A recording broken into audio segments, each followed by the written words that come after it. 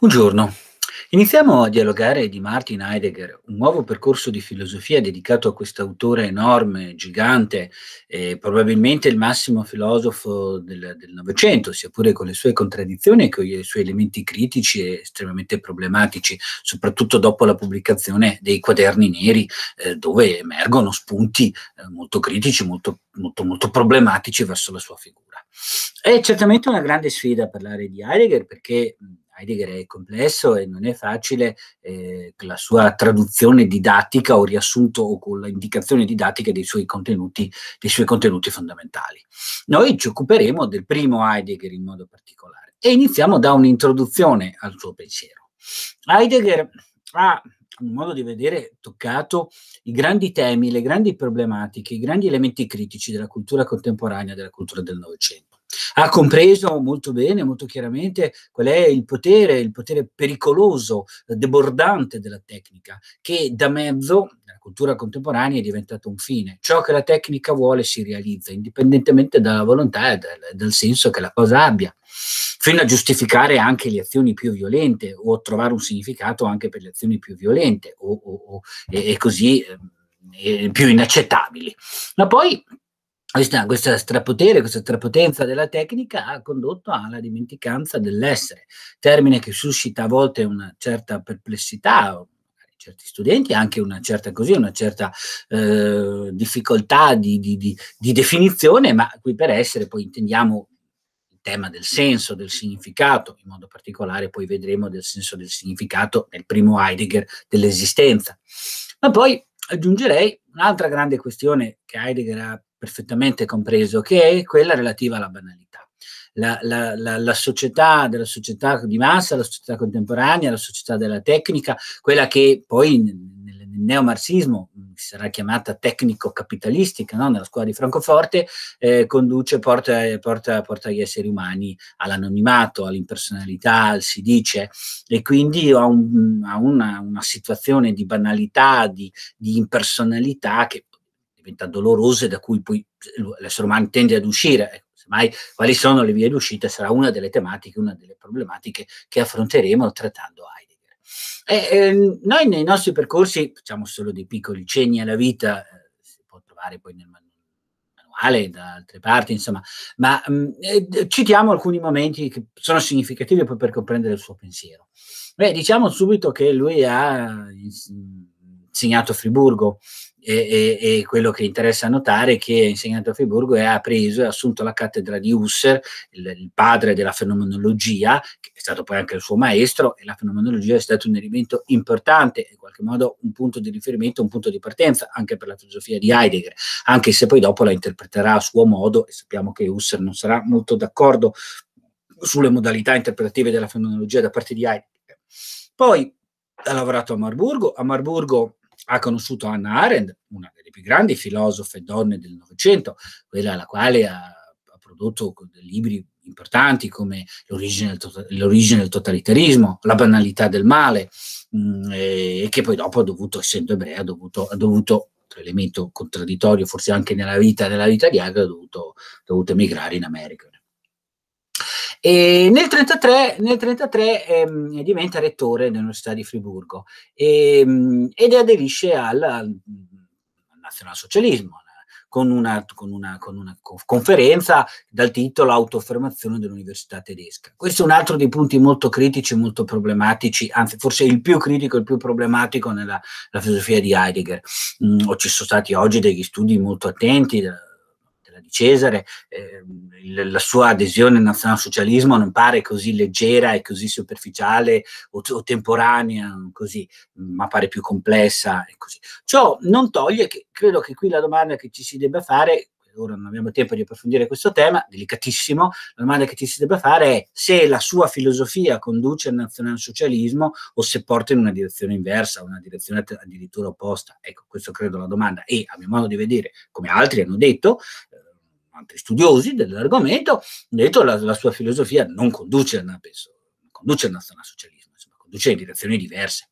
E, ehm, lui poi si rimetterà l'anno dopo eh, e in qualche modo abbandonerà questa sua, questa sua così, adesione diciamo, politica e poi sarà sospeso nel 1936 e, e dopo però subirà anche, anche una un'analisi, una revisione eh, dopo la seconda guerra mondiale per, dove si valuterà se è adatto se è adatto o se può tornare all'insegnamento. No? vi sarà un dibattito molto critico, molto problematico, fino a che nel 1952 una commissione che prima aveva avuto elementi più problematici, deciderà che poteva tornare, tornare, all'insegnamento. Però non ci sarà mai in lui una parola di pentimento, una parola di critica, di autocritica no? verso questa, queste sue scelte della, della, così, della sua, chiamiamola, chiamiamo così, della sua carriera. Celeberrimo nella sua vita credo sia citare il ruolo che ha avuto la Baita, la famosa Baita nella Foresta Nera, eh, Totaumberg. E in questa Baita eh, ha, ha, lavorato a testi molto importanti, eh, penso a essere Tempo, ma anche un elemento simbolico no? nel suo stile, nel suo stile non, non, solo di vita ma anche di filosofo no? e di studioso, eh, una, una, baita che, che, ha la sua valenza no? per, comprendere, eh, per, comprendere, per comprendere il, per, personaggio. Si dice che si parla Heidegger di due, di due fasi, si parla di due fasi, evidenti in qualche modo.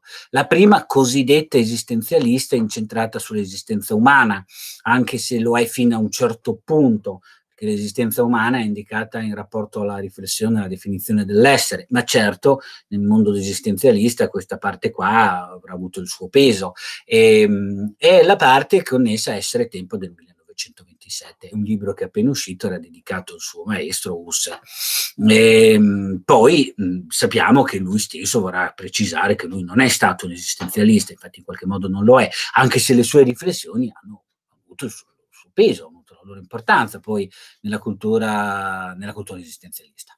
Una seconda fase connessa a quella che è chiamata la svolta, che era la svolta, eh, dove mh, l'attenzione è rivolta alla questione dell'essere, che è la definizione di questo grande tema. Tema che non è facile di facile definizione. Sappiamo che anche in Essere Tempo il capitolo sull'essere in qualche modo manca. E questa riflessione sull'essere avverrà attraverso il linguaggio, attraverso la poesia, famoso il suo lavoro su Holderlin, no? l'essenza della poesia, ma poi soprattutto citerei i Sentieri interrotti, poi una raccolta di testi no? che, che, così, che affrontano, le, così, aprono la strada, una strada nuova, diversa, non, chiari, non sempre così semplicissima, di semplice, semplicissima da leggere, di semplicissima interpretazione, che è quella relativa all'analisi, allo studio dell'essere. Ehm, interessante qua in questa fase è la famosa lettera sull'umanismo dove mette in discussione una serie di cose, una serie di tematiche e ehm, anche su, sulla tecnica, sulla, sulla, scienza, su un certo tipo di sviluppo e sulla ripresa, appunto, dicevamo, della questione dell'essere. Quali sono le direttrici? Le direttrici eh, ci sono delle direttrici, i temi dominanti? Eh? Beh, io direi sì di sì.